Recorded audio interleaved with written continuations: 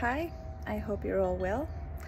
Today I wanted to talk about something that's been going on in my head lately, especially this year, and it's about suffering. As I think many of us know, suffering is something that we can't change, we can't avoid. It's part of life, it's part of being human.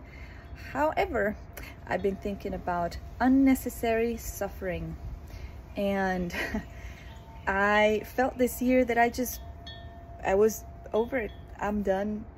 I I am done suffering unnecessarily and uh, it has changed my life because even with the little things I used to do things like well I'm not gonna ask, ask someone for a jacket when I'm cold because I, I can do it I can just wait a little longer or if I was in pain, I was like, I'm not gonna take another pill because uh, I'm not gonna take something for the pain. I can, I can endure it. I can take it. It's gonna go away soon, and it's gonna make me stronger.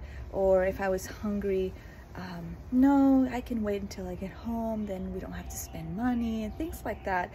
And those are just little examples and up to the big examples that I've been trying to apply in my life and just thinking about that, thinking about how many times we put ourselves in situations where we suffer unnecessarily on top of the normal suffering that we have in life by not setting boundaries, by not um, doing things differently, by not um, spending a little bit more time in, in us in something that we really like or any of those things. So it's just something that's been on my head lately and I, I wanted to share it with you and see if that helps a little.